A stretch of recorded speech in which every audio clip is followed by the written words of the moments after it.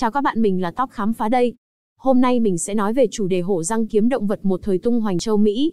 Mời các bạn cùng Top Khám Phá tìm hiểu về loài hổ răng kiếm động vật cổ xưa này nhé. Hổ răng kiếm tiếng Anh gọi là Smilodon là một chi của phân họ Machairodon đã tuyệt chủng của họ mèo.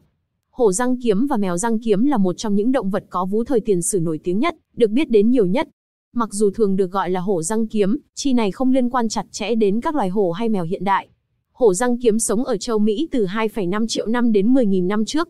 Chi được đặt tên vào năm 1842, dựa trên các hóa thạch từ Brazil. Có ba loài trong chi được công nhận ngày nay, S. gracilis, S. fatalis và S. papunator. Nhìn chung, hổ răng kiếm có cơ thể mạnh mẽ hơn bất kỳ loài mèo khác, với các chân trước đặc biệt phát triển tốt và hổ răng kiếm nổi tiếng nhất với bộ răng nanh tương đối dài, dài nhất trong những con mèo răng kiếm, chiều dài vào khoảng 28 cm ở loài lớn nhất, S papunator. Hàm của chúng có một góc há mồm lớn hơn so với mèo hiện đại, và răng nanh trên của chúng mảnh mai và mong manh, được thích nghi để tạo ra đòn cắn chính xác.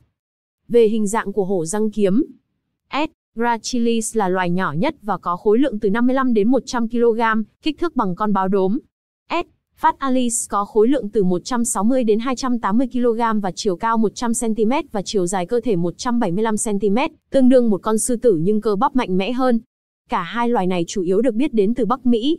S. to từ Nam Mỹ là loài lớn nhất, có cân nặng từ 220 đến 400 kg và chiều cao 120 cm, là một trong những loài mèo lớn nhất được biết đến. Hoa văn trên bộ lông của hổ răng kiếm chưa được xác định. Thức ăn và phương thức săn mồi của hổ răng kiếm. Là một động vật ăn thịt đầu bảng, hổ răng kiếm săn bắt các động vật có vú lớn. Có người cho rằng hổ răng kiếm là một loài ăn xác thuần túy sử dụng răng nanh để tỏ ra thống trị trên cái xác thịt nó chiếm được, nhưng giả thuyết này không được hỗ trợ vì không có động vật có vú trên cạn hiện đại nào là loài chỉ ăn xác.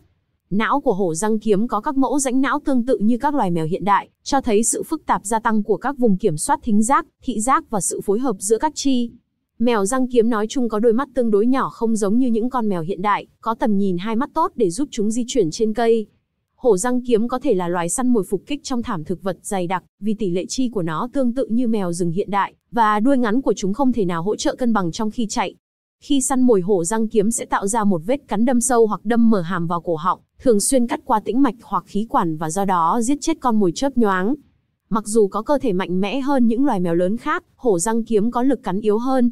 Những con đại miêu hiện đại có xương gò má, trong khi cấu trúc này nhỏ hơn ở hổ răng kiếm, làm hạn chế độ dày và sức mạnh của các cơ thái dương giảm và do đó lực cắn của hổ răng kiếm yếu hơn. Phân tích bộ hàm hẹp của chi chỉ ra rằng chúng chỉ có thể tạo ra lực cắn bằng 1 phần 3 so với sư tử. Dường như có một quy luật chung là các con mèo có răng nanh càng dài thì có tỷ lệ cắn càng yếu. Nguyên nhân hổ răng kiếm tuyệt chủng Cũng như với hầu hết các động vật lớn của thế canh tân, hổ răng kiếm đã tuyệt chủng 10.000 năm trước trong sự kiện tuyệt chủng kỷ đệ tứ. Sự tuyệt chủng của loài mèo răng kiếm có liên quan đến sự suy giảm của các động vật ăn cỏ lớn, bị thay thế bằng những loài ăn cỏ nhỏ và nhanh nhẹn hơn như hươu. Do đó, hổ răng kiếm có thể đã quá thích ứng trong việc săn những con mồi lớn và không thể thích nghi để săn những con mồi mới chính là nguyên nhân tuyệt chủng. Cảm ơn các bạn đã theo dõi video. Nếu thấy video hữu ích hãy cho mình một like và một subscribe để ủng hộ mình nhé. Cảm ơn các bạn.